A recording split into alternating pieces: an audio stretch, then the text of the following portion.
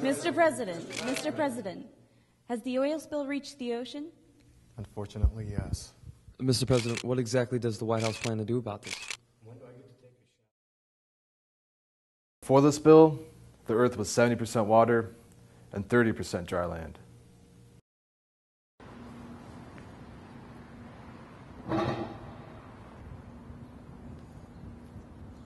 Sir, I've got bad news.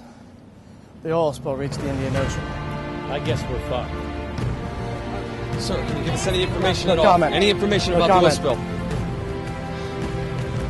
Apparently, there's no comment from the executives here at BP. This is John Stouts, Channel 1 Evening News. By September 2010, there will be 30% water and 70% dry land.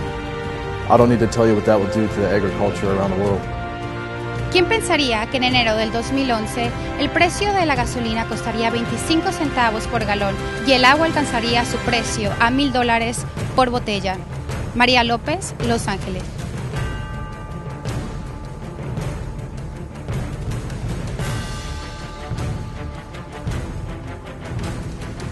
By December 2010, the Earth will be 5% water. The Earth will have absorbed the oil contaminated water into the ground. My fellow Americans, please pray for our country. So help us God.